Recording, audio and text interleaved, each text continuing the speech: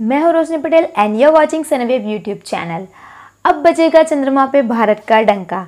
जी हाँ हम बात करने जा रहे हैं चंद्रयान टू के बारे में, जो इसरो ने हाल ही में लॉन्च किया था ऑन 22 जुलाई 2019 और उसका एग्जैक्ट टाइमिंग था 2:43 पीएम मून सेटेलाइट की बात करें तो अमेरिका, चाइना एंड रसिया के बाद भारत चौथा देश बन गया है, जिसने मून सैटेलाइट लॉन्च किया है। जी हाँ चंद्रयान टू जो मून पे ऐसे हिस्से में जाएगा, दक्षिणी हिस्से में, वहाँ पे काफ़ी अंधेरा है एंड कोल्ड भी वहाँ पे सबसे ज़्यादा मून की उस इलाके में है, जहाँ पे हमारा चंद्रयान टू लॉन्च होने वाला है।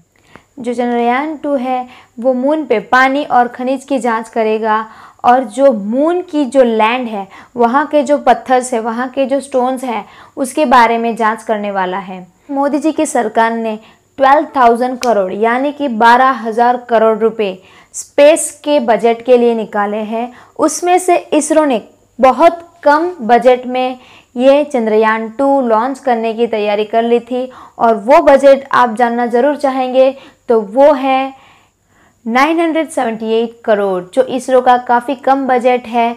गवर्नमेंट ने जो बजट दिया था ट्वेल्व थाउज़ेंड करोड़ से बहुत ज़्यादा कम है। दोस्तों, आपको क्या लग रहा है कि इसरो ने जो बजट तय किया है, वो कैसा है? क्या हमारी गवर्नमेंट के लिए वो सफिशियंट है?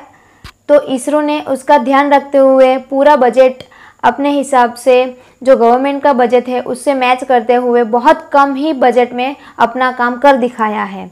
तो आपको इसरो का ये चंद्रयान टू का मिशन कैसा रहा? हमें कमेंट करके ज़रूर बताइएगा। हम आपकी कमेंट की वेट कर रहे हैं। अगर ये वीडियो आपको पसंद आया तो लाइक ज़रूर कर दे। और ऐसे ही चटपटी खबर के लिए हमारे चैनल को सब्सक्राइब करना ना भूलें, ताकि आपको समय समय पे ऐसी खबर हम देने में समर्थ रहे। And please share this video bye